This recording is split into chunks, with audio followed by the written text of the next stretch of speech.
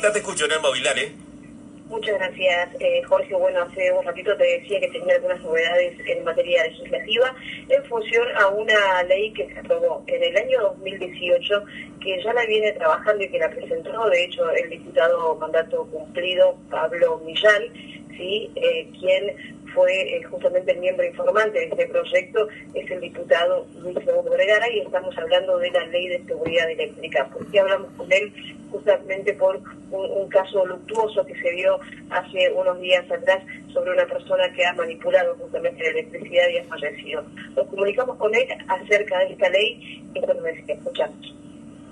Que ley, la 5.551 de, fines del 2018, fue una ley que llevó un proceso de, elaboración eh, largo, fue a instancia del diputado Juan Pablo Millán, y luego en el 2018 este, fue aprobado y donde tenía por, objeto este, aplicar en la provincia de Catamarca todo el régimen de la Asociación Electrotécnica Argentina, que ha reglamentado de alguna forma los requisitos para las instalaciones eléctricas este, domiciliarias fundamentalmente. Esto en, virtud de los conocidos y, repetidos casos de accidentes eh, con, las instalaciones eléctricas, donde hace poco cobró la vida de, un, de un catamarqueño. De, de, lo que decía Carlita recién, de lo que contaba recién con la nota con él.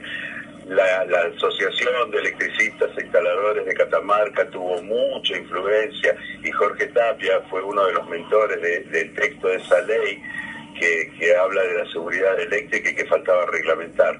Eh, con él hemos hablado en alguna oportunidad contando detalles y tenemos pendiente un par de cosas que cuando los vean se agarra la cabeza. Tres años lleva la ley sin reglamentar, ¿no? Sí, durmiendo.